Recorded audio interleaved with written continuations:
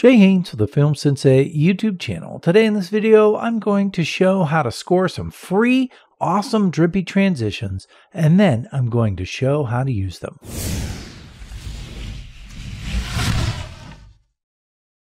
These free drippy style transitions can be acquired at productioncrate.com. There's a link in the description below. After clicking on that link, make sure that you have an account. If you don't, sign up for a free account first. Then, when you're all signed in, start by typing Drippy Transitions into the search bar. You'll quickly find these transition video clips. The ones that have a yellow star are for people who have a paid account. But there's good news. You don't need a paid account to score these five free transition clips for yourself. To download one, simply click on the thumbnail, then select the format of your choice.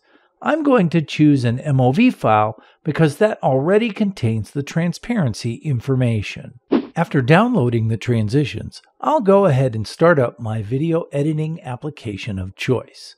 In this case, I'll use FX Home's HitFilm by Artlist because it's free. But you can use whatever video editing application you'd like. I'll create a new folder in the media bin called Drippy Transitions. Then I'll drag and drop those files into that folder. I'll go ahead and drop a couple of video clips to transition between as well. Now I'll create a new composite shot and place my two clips into it.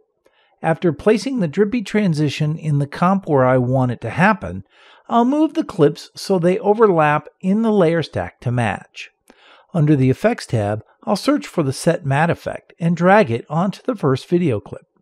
Then, under the Controls tab, I'll assign the source layer to be the transition clip. Lastly, I'll invert the effect. That's it! Now I can drag this composite shot onto the editor timeline and it will be good to go. I'm Jay Haynes for the Film Sensei YouTube channel. If you enjoyed this video, please like it. And if you want to see more content like this, feel free to subscribe to the channel. And don't forget to click the bell icon for notifications. Thanks for watching.